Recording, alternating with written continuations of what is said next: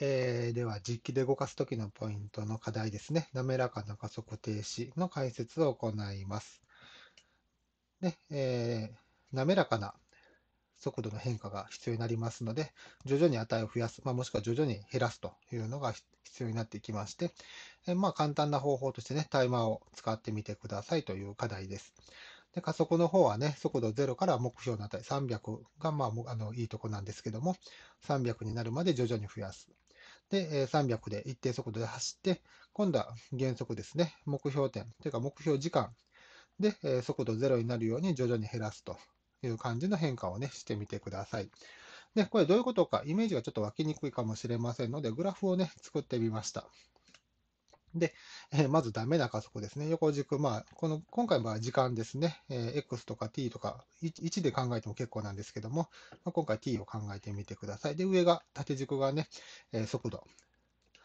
で、え今までのね、速度の変化ってこんな感じで。まあ、本当は速度、あの、時間0の時に上がるのがいいんですけど、ちょっとここの軸と被るのでね、ずらしています。で、えある時間でね、速度が一気にボーンと変わっちゃう。300になるよと。急発進する。これダメな加速ですね。シミュレーター上では問題ないんですけど、実機でそういうのをやるとね、えスリップしたりね、急発進したりっていうことになって、いろいろ不都合が生じます。じゃあ、あの、急に変化するんじゃなくてね、滑らかに変化するっていうのは、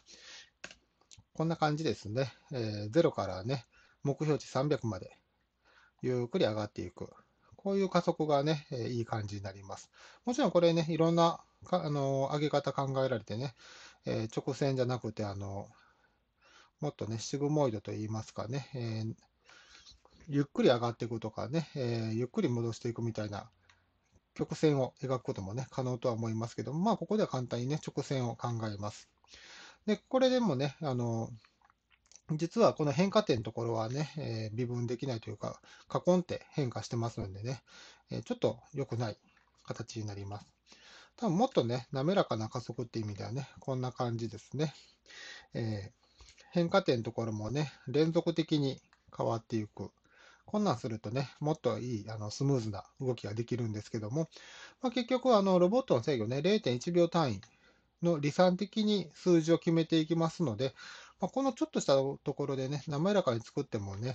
結局値が飛び飛びになっていってあまり変わらないということになりますので、まあもうこの辺は直線でも問題ないかなと、えー、私は思っています。はいで、減速もね、一緒ですね。ダメな減速。300で走っててね、目標点来た時に一気にゼロにする。えー、急ブレーキ踏んだよと。キキーって止まるようなね、そんな止まり方になっちゃいます。ではどうするか。これもさっきと一緒ですね。えー、目標点ゼロになるようにね、えー、減らしていく。こんなね、え速度変化をイメージしてしてね、え作ってもらえたらなと思います。じゃあ、こういうね、滑らかな加速を作るにはどうしたらいいかです。で、えここにはね、3つの直線が絡んできています。えー、一番下はね、y イコール0ですね。速度0。で、目標点はね、y イコール300の直線です。で、右上に上がっていくのはね、えー、時間使った直線ですけども、まあまあ傾きをどれぐらいにするかはね、えー、これ時間そのまま使っちゃうと結構傾きが急になるのでね、10分の1ぐらいにしておくのがね、えー、使い方としてはいい感じです。でそうするとね、この直線、えー、原点で、まあ、の時間 t イコール0でね、スタートするのであれば、もうこの b、あの y ステップね、必要ないです。タイムかける0.1だけでね、成立します。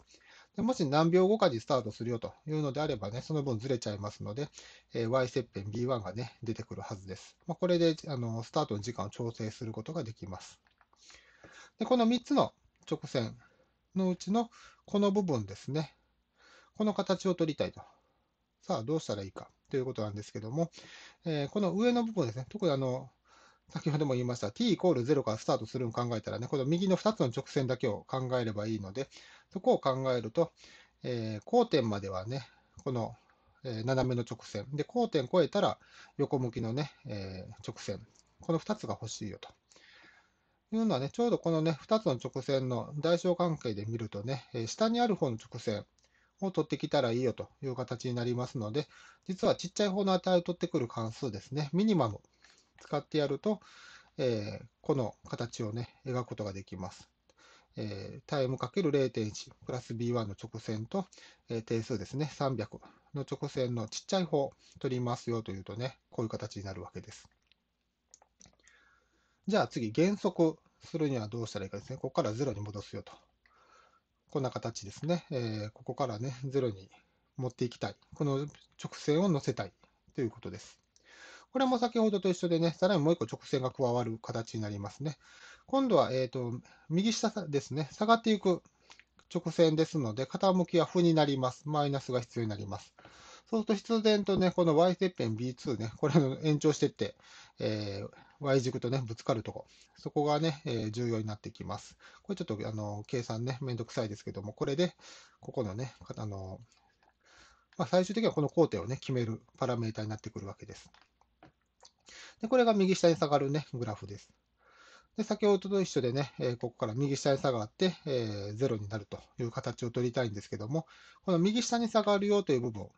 これも結局ね、え、この y イコール300の直線と、え、今の y2 の直線ですね、の下にある方を取ればいい形です。でもっと言うと結局この y1 も入れても一緒なんですね。y1 に対して下がこいつらになってきますので、えー、その3つの直線のミニマムを取ってやる形で、え、この台形をね、描くことができます。というわけでね、え、この3つの直線のミニマムを取れば、え、滑らかに加速して一定速度で走って滑らかに減速するっていうのが実現できます。で、えっ、ー、と、この y イコール0、ここですね。これを入れてやりたいよ。まあ、特に最後ね、ここであのサブプログラム終わって次に行くよってできればいいんですけども、そうじゃなくてちょっと止まっとかなきゃいけないなんていう場合でしたら、えー、0で終わらさなきゃいけません。そう今度はこの0とね、先の台形との関係を考える必要があるんですけども、この場合は上にある方の、えー、直線がね、出てくる必要がありますので、マックスの方ですね、マキシマム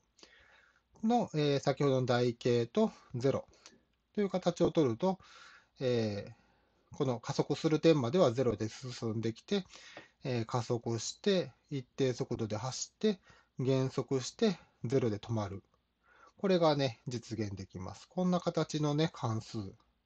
で、えー、このね、滑らかな加速減速っていうものが出来上がります。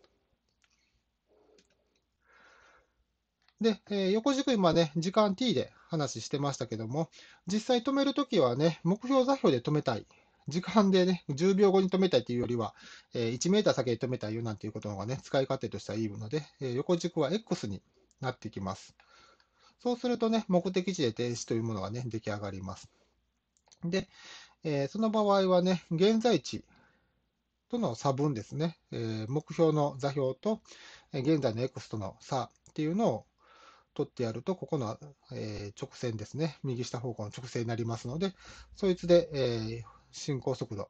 制御してやると止まります。で、さらにその場合はね、行き過ぎた時には負の値になりますので、えー、戻ろうとする方向にね、働く。行き過ぎた、帰ってこよう。まあ、そのもしねこ、こっちに行き過ぎたらまたよし行くぞと。こういうね、えー、振動するような動きになっちゃいますけども、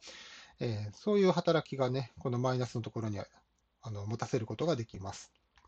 でこれでね、もあの指定した目的地で停止というものもできるようになります。さあ、どうでしたかね。あの、できてなかった人はね、今のを参考にしてもう一度作ってみてください。